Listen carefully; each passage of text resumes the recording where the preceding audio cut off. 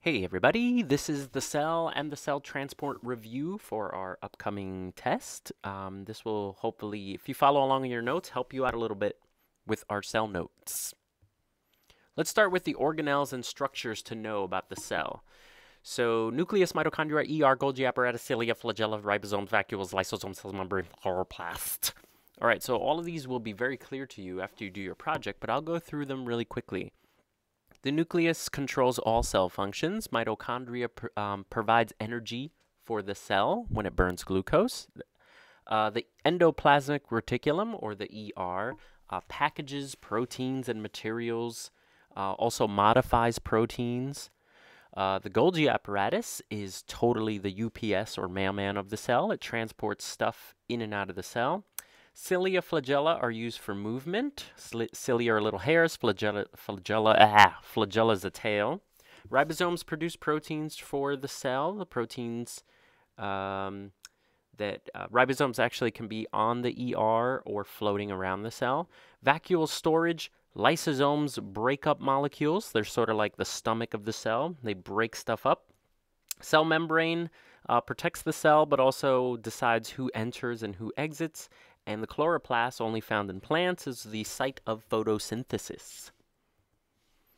So, let's talk more about how, because the organelle stuff you're really going to learn when you do your project and review yourself. I want to explain the stuff we talked about um, when stuff enters and exits the cell. So, that's a cell.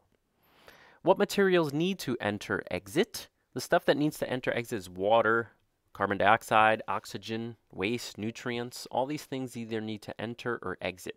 Now think of the cell membrane as a bouncer. The cell membrane is selectively permeable or has selective permeability. This is the ability of a membrane to allow or block movement through it. So the membrane decides who's invited to the party.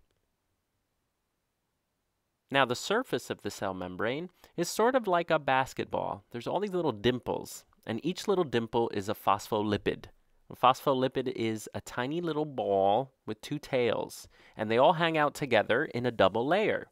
Now, in the cell membrane, there's stuff embedded. That means there's in stuff inside the cell membrane. Those beans you see, those purple things, are proteins, and those proteins are protein bridges. Um, larger molecules pass through the protein bridges. Smaller molecules like glucose, water, carbon dioxide, uh, and oxygen pass through um, right through the little phospholipids. They don't need the protein bridges. All right, entry and exit of molecules occurs a couple different ways. The first one is endo endocytosis or exocytosis, and this is when very, very large molecules need to get in. Now, how is that molecule going to get in there? Now, the cell membrane can't open up because all the contents of the cell would spill out. So, what happens is the cell membrane actually sort of gulps, envelops, engulfs, and actually makes a vacuole in there. That's called endocytosis. Okay? Now, the uh, macrophages are our white blood cells that perform uh, endocytosis. They actually eat bacteria or our damaged cells. Um, and amoeba was the protist that we used as an example of um, a single-celled organism and the way it eats.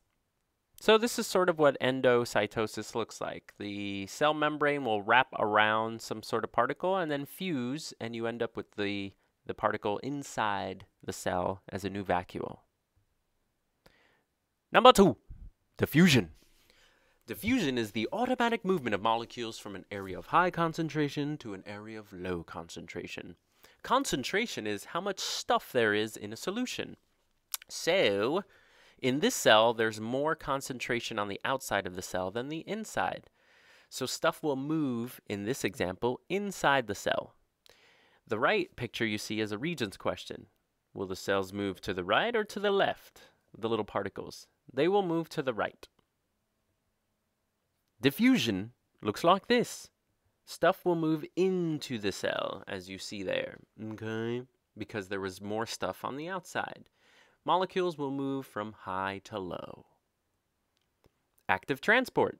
This is the opposite of diffusion, and it's low to high concentration, but requires energy. That's the bad thing. So it's this is where cells need to push something out.